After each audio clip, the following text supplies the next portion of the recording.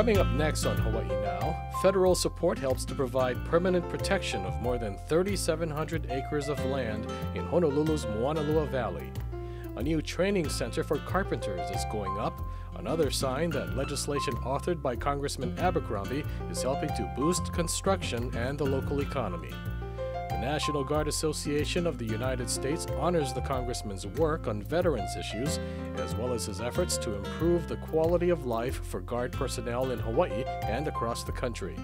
And the Congressional Arts Competition for Hawaii high school students gets underway, and all expenses paid trip to Washington, D.C. is one of the prizes. This is Hawaii Now with Congressman Neil Abercrombie. Moanalua Valley may be a blur to most people zipping by in their cars while driving over Red Hill on H1 Freeway.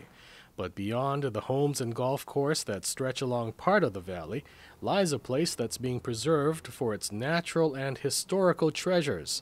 More than 3,700 acres of the valley has been dedicated for permanent protection through the work of a community partnership which includes Hawaii's congressional delegation and the Trust for Public Land, or TPL, a national nonprofit land conservation organization. The Trust's Hawaiian Islands Program Director says dedication of the land will protect the area's natural treasures for future generations. She also says the rich history of the Hawaiian family that lived in and continues to care for the area will be preserved. There's so many stories about what used to be. You know, hey, this used to be where King's Bakery used to be. or, oh, that's where the Okazu used to be. Or that's where I used to fish. Or that's where my auntie took me swimming. Um, it is so fitting that um, on this occasion to mark that there aren't going to be any more stories about what used to be here.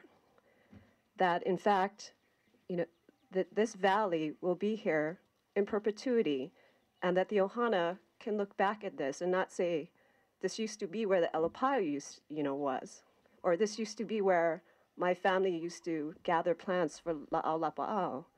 Moanalua is known as a dwelling place of the supernatural beings. My family were caretakers of all these supernatural things.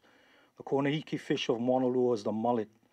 This is very sacred land, and I'm so glad that um, the DLNR and the Trust for Public Lands has partnered, along with the military, to care for this aina. This is where the sacred chiefs of old, the kings and queens, are all buried.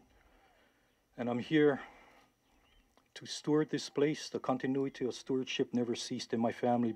Before me was my dad, his mother, their mothers, and so forth from the beginning. And it's so amazing today. This is my fourth year of celebration of stewarding this place, you know, very discreet.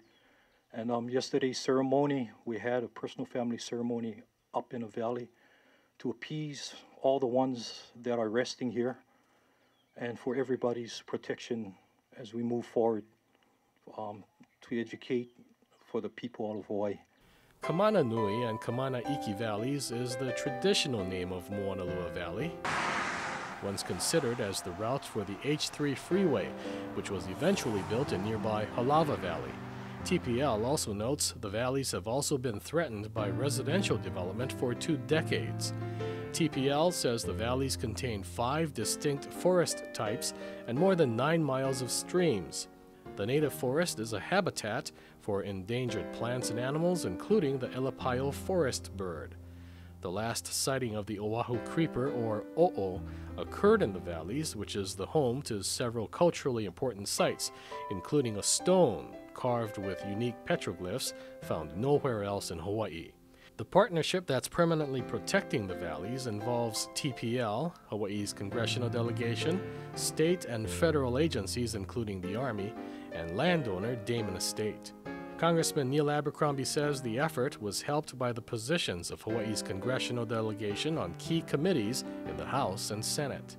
Uh, fortuitously, I'm able to serve on both committees that that uh, have the opportunity to participate uh, with all those in the in the in the state and foundations and and all the other groups and individuals associated here. The Natural Resources Committee has jurisdiction, the U.S. Fish and Wildlife, and of course, uh, the uh, you know, working with Colonel Killian and all the others in the Army and the Armed Services Committee. Permanent protection of the land is a result of negotiations between TPL and Damon Estate on a $5.5 million purchase price. Funds for the purchase came from federal and state sources. That involved an Endangered Species Conservation Fund at the federal government's U.S. Fish and Wildlife Service and the U.S. Department of Defense's Army Compatible Use Buffer Program. The buffer program enables the Army to help communities to protect endangered species and to support local planning and conservation efforts. The valleys will be open to the public for hiking, hunting, preservation work, and education. The back of the valleys will be a wildlife preserve. And what I want to do today is say thank you, uh, particularly from the federal side to Dan Inouye. One of the first things that he indicated when the possibilities uh, for this combination of resources being put together was uh, discussed is that our delegation would commit ourselves, and he mentioned to me in terms of the, the partnership that we have in the delegation, that I would be able to utilize my, my position on the Resources Committee in the House to work together under his leadership to accomplish this. In that context, the senator and I, and Senator Akaka, by virtue of, of his being on the Armed Services Committee, uh, have worked with particularly the Army, but with the military in general, to try and make certain that environmentally speaking, that the military was in the leadership position, not following, but in the leadership position of seeing to it that our natural resources were protected, and most particularly that the, that the environment uh, particularly in terms of the creatures and the flora and fauna of Hawaii, uh, were not just protected but nurtured. And so the buffer program that's that's been mentioned may be something that we think we know about, but it has particular uh, a keen reference to that idea of trying to work with the military to see to it that the that the environment is enhanced, not just protected. We have that buffer program operating right now on Kauai. Uh, we would not be able to utilize the, the uh, uh, barking sands uh, activities, the, the possibilities for barking sands, particularly for the Pacific in the 21st century, if it was not for that buffer program. We couldn't have done things at Pupukea if we had not had the same program in operation, and we most certainly would not have been able to do it today. Eight months prior to this day, Congressman Abercrombie represented the congressional delegation at another dedication ceremony on Oahu's North Shore.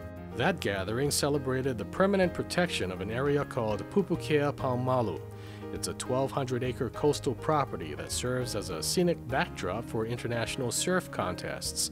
That event culminated a move to protect the land that began in the late 1980s when plans first surfaced for a residential development in the area.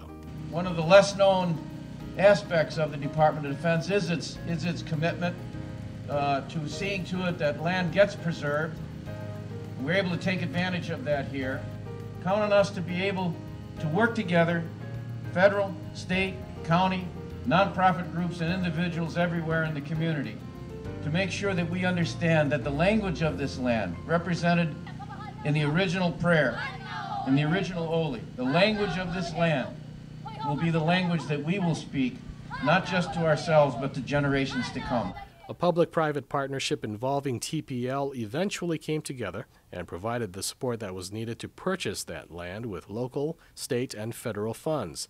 The Army's buffer program, again, was a key to the Pupukea Paumalu land purchase. The author of all of that, not just here in Hawaii, but across the nation, in terms of environmental protection and enhancement, is Senator Inouye, and is an honor for me today to not just mention that fact to you as if this was the first time you ever heard anything that could be attributed to Dan Inouye, but to say to you that that kind of leadership is something that I think uh, more than ever today uh, is not only needed, but manifests itself uh, in what is taking place today. This dedication would not be possible without it, and it's an honor for me to be here with him today to acknowledge it. Um, I just hope and pray that we do take care of what we have left because this place is very, very special. Kamana Nui, extraordinary powers. Kamana Iki, subtle but strong, our brothers and sisters. The waters that come out of Kamana Nui is the waters of the Wahine. The waters coming out of Kamana Iki, this is the water of Kane. When they do meet, they become the water of life. And in fact, this valley will continue for future generations, and it won't be any more stories about what used to be.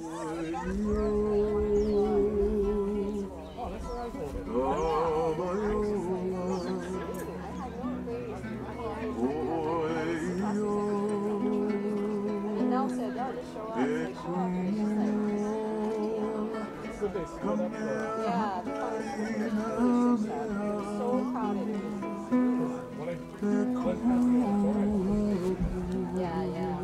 Yeah, yeah. I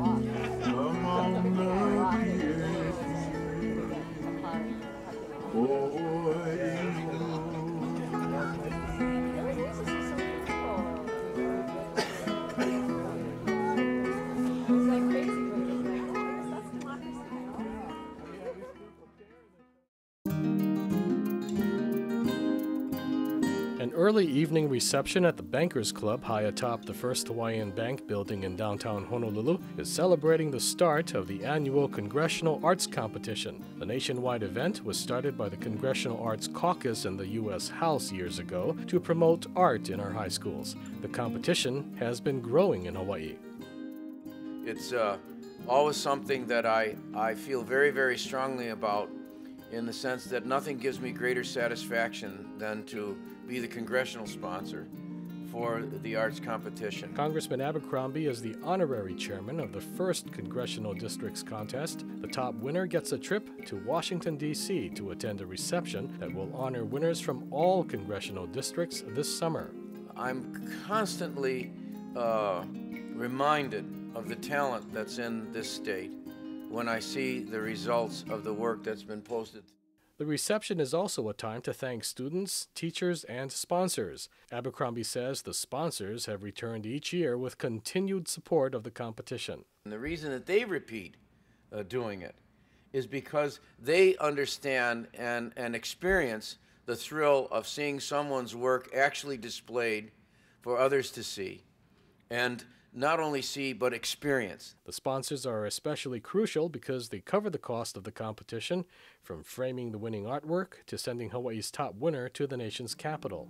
We use our donors to do all of that, to send that uh, the final winner up to Washington D.C., provide them with a week of um, education and learning up in Washington D.C.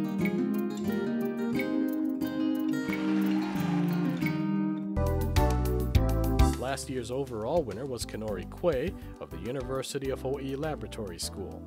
Um, my trip was, it was really amazing because you got to see a lot of the historical um, monuments and stuff, all of the all of the museums. So I think for me that was the best part, and of course the the art competition was great too. Last year's event was at uh, Honolulu Hale, and there was uh, 183 pieces of art. Um, it was a very nice event. Everything went off very well. We had about prize. We had prizes for um, probably about 10 prizes, and they ranged from a trip to DC to visit DC, um, see their art placed in uh, the capital. Um, some kids won iPods, trips to the outer islands. Um, the teacher, the winning student, also had their teacher go with them to Washington D.C. and uh, everybody wins. Uh, even the kids that that aren't placed come out with a goodie bag and they get a bunch of other things donated by companies and sponsors. What are those two categories that kids can submit their artwork to? Photography and 2D art. We don't accept any three dimensional pieces because it's too hard to hang in the Capitol. But uh, it, it ranges from about, we go by 28 by 28 is the largest the piece of the art can be. Um, and you can do whatever your imagination allows you to do on 2D art or in photography. First of all, I want to say thank you, Alan, for uh, letting us set up over here. You uh, second year in a row, and it's a it's a beautiful venue. We appreciate well, it. You know, it's always our pleasure to assist this, especially this event, which is art, and art is wonderful for the kids. Well, like um, Oceanet, we're a defense contractor. We uh, have a presence out here in Hawaii of probably 800 total people. We have sites out at um, Schofield, Lualualei, um, shipyards, a big presence in the shipyards. We do all the surface ship repair. Uh, out at um, Kailua and, and here in this building. Uh, Pipeline is a company that uh, does micro-scale thermal solutions. We uh, are one of the few companies in the world that can cool uh, laptop computers with liquid cooling systems. Well, Pipeline, uh, one of our missions is to keep talent in Hawaii. And uh, as, as the only micro-scale company doing thermal work in Hawaii, we've been able to keep engineers from U University of Hawaii here and uh, we also want to support the community in arts and uh, keep uh, keep our our uh, artistic talent as well as our engineering talent uh, at home and uh, working for the state of Hawaii. What does Referentia do? We're an advanced technology company, doing a lot of software engineering for research and development for the Defense Department. we work in three major areas. Computer, command control, communications and computers, and intelligence called C4I for the military and also um, advanced technology solutions like modeling and simulation, um, uh, advanced networking capabilities, uh, things like that. We actually started on this. Um, uh, this is our second year, I, I think, and uh, we heard about it from from Ian, who's been a, done a great job of catalyzing the local tech community around uh, events like this. Um, you know, the arts is a really important part of creativity, and creativity nurtures innovation, and innovation you know, fosters sustainability. Pukoa Scientific is a house that uh, basically does pattern recognition solutions. So what we do is we take you know a lot of data that's kind of chaotic and, and you know looks confusing confusing and provide you know some algorithms that can make sense of it to some potential users who can use that data now to be useful in their daily lives or you know help solutions for the uh, the military or to analyze, you know, what's going on in the world? I was a, a past winner of um, the competition, and um, and it was, you know, very impactful on my life. So I think it's it's really good for for the students coming up these days. Uh, you know, we always like to find different ways we can give back to the community, whether it's through um, uh, the projects that we do with the with the schools, through the DOE, or directly through the schools themselves. And this is just another uh, another route that you know we we saw that we could help give back to the students. HIPA is the Hawaii Institute for, for Public Affairs. It's a nonprofit uh, advocacy group for do-gooder type things, um, sustainability, uh, the technology industry. Um, and artwork. HIPA believes very strongly in the role of the civic life. They believe that people should be, you know, well-rounded, productive citizens, and that includes things like artwork. To learn more, visit the competition's website at congressionalartshawaii.org. This is Hawaii Now with Congressman Neil Abercrombie.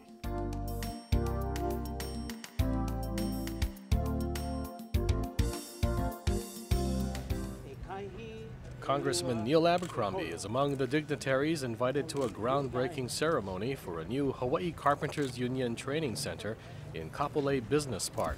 They're using o'o sticks, traditional Hawaiian digging implements, to break the ground. Wow, you know, it's one thing to say 56,000 square feet and so on, but you actually see the space. This is tremendous. The union says the ceremony marks the beginning of a new era for Local 745. For the first time in its history, the union will own a facility to support all training programs. Having our own training center has been a dream of the union for many years, but it was only made possible through the wonderful cooperation we have with our signatory contractors and trustees. You know, by working with as a team with our contractors, we've accomplished a lot of great things in the past, and we're going to continue to build on that relationship uh, in the years to come. When the center is completed, it's going to tremendously enhance uh, the, the, existing training programs we have through the community colleges statewide, where we have involved more than 2,000 registered apprentices.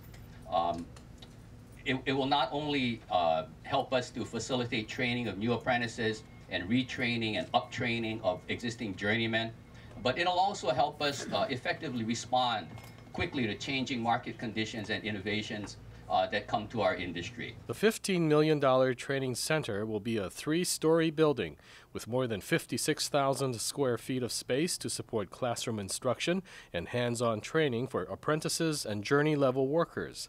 The center will also include multi purpose rooms and accommodations for meetings, workshops, and large functions. Something that will surely outlive me and, and will benefit our industry big time. And it's, it's uh, through the efforts and the vision of people, the labor people, Ron Taketa especially. It's, it's the, the leaders within the construction industry on the uh, management side that have helped uh, agree and, and foresee the needs that are coming up in the future. And we really are excited that we are going to have a facility of this stature. As Ron Taketa noted, it's a facility that will augment existing vocational education programs in Hawaii's community colleges. Congressman Abercrombie has been a strong supporter of efforts by Honolulu Community College Chancellor Ramsey Pedersen to strengthen the apprenticeship training program for building and construction trades. I mean, what a commitment this is by everybody, including uh, the financial institutions, by the schools. I was talking to Ramsey Pedersen. Uh, this is a complement, a complementary feature to what is already being done at HCC and elsewhere, because we have confidence in the future. We are, we are not resting on our laurels. Laurels. We are going to be out there working together in government and in business and in labor to make sure that this state stays prosperous. A strong increase in military housing construction in recent years has increased the need for more carpenters in Hawaii. That's a result of Congressman Abercrombie, who sponsored federal legislation in 1996 that has led to the current boon in military housing projects worth billions of dollars in construction and business. The legislation made it possible for public private partnerships to build the projects with private investments rather than federal dollars. The projects will build, renovate, and maintain more than 16,000 rental homes over the next 50 years for military families living on bases in Hawaii. The completed housing units are helping to address the shortage of affordable rental housing for local residents by alleviating the competition between civilian and military families for off base rental housing. And I can assure you, and I pledge to you, as long as I have anything to say about it, you can count on me, you can count on our delegation to work with you to see that recession is a word that disappears out of the language of Hawaii and prosperity is a word that's going to take first and foremost prominence. Congressman Abercrombie's legislation has boosted the local economy, and the new training center will ensure that a trained and qualified workforce is ready to do the job.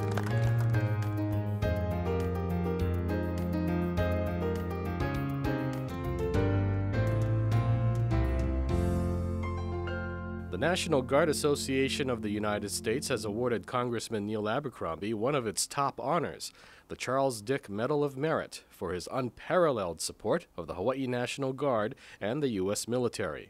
How appropriate for the Hawaii Army and the Air National Guard to have a friend like Congressman Neil Abercrombie in charge of the Air Land Committee. Hawaii's Adjutant General, Major General Robert Lee, presented the award to Abercrombie in Honolulu during a ceremony hosted by the association's Hawaii chapter. It's a nonpartisan organization representing nearly 45,000 current and former Army and Air National Guard officers nationwide. It was formed in 1878 with the goal of obtaining better equipment, standardized training, and a more combat ready force by working with Congress. Lee said Abercrombie's legacy to the Guard includes his efforts dating back to 1998. That's when the congressman was the senior Democrat on the House Armed Services Military Personnel Subcommittee. People were saying, well, what about America's promise to the veterans? You told us you'd take care of us until we hit, the, hit, hit our grave. To keep the nation's promise, Abercrombie authored legislation that made comprehensive improvements to the military health care system, or TRICARE, for active duty military personnel, their families, and military retirees in Hawaii and around the world. Congressman Abercrombie did that, which was getting TRICARE after retirement. General Lee called Abercrombie to the stage while invoking the name of another winner of the Charles Dick Medal of Merit, a late congressman who was credited for modernizing the GI Bill in 1984 for the nation's volunteer force by adding education benefits for members of the National Guard and Reserve. Ladies and gentlemen, how about a warm welcome for the Sonny Montgomery of the Pacific, Congressman Neil Abercrombie. The Medal of Merit is named in honor of Major General Charles Dick, a former president of the National Guard Association of the United States, adjutant general of the Ohio National Guard, and later a congressman and U.S. senator. He introduced legislation in the early 1900s that was credited with establishing the modern National Guard. Because it, if anything is true about the Guard and Reserve, particularly in these times of great stress, when the Guard and Reserve are being called upon to do things and to sacrifice in ways never before undertaken in the history of the United States. The Guard now finds itself in unprecedented times, and believe me, believe me, I think very hard about it every day. Every committee in the Congress is important. Financial services, if you're facing foreclosure, let me tell you, you pay a lot of attention to what Barney Frank and the Financial Services Committees are undertaking. Judiciary, foreign affairs, all very important. But only one committee deals with life and death issues every single day, and that's the Armed Services Committee. The Armed Services Committee, the decisions we make there affect people's lives. The award to Abercrombie says the congressman repeatedly sponsored legislation related to veterans, homeland security, defense, and the military. The award says Abercrombie used his seniority as a member of the House Armed Services Committee to support initiatives to improve the quality of life for Guardsmen. The award goes on to say, as chairman of the House Armed Services Subcommittee on Air and Land Forces, he maintains critical oversight responsibilities for U.S. Army and Air Force procurement and research and development, and manages the same efforts for the National Guard, seeking to improve their readiness. This award is a reminder to me of my obligation and my duty, which is to act on the faith and trust that's been placed in me. And I reach out to you as a member of Congress making these decisions, I reach out to you and place my faith and trust in you as all the people of this state, and because of the situation, they all the people of this country do in the Guard. This is the citizens' Guard. This is the expression of a free people. This is the talent in the room. I salute you and I salute the talent in this room. Mahalo.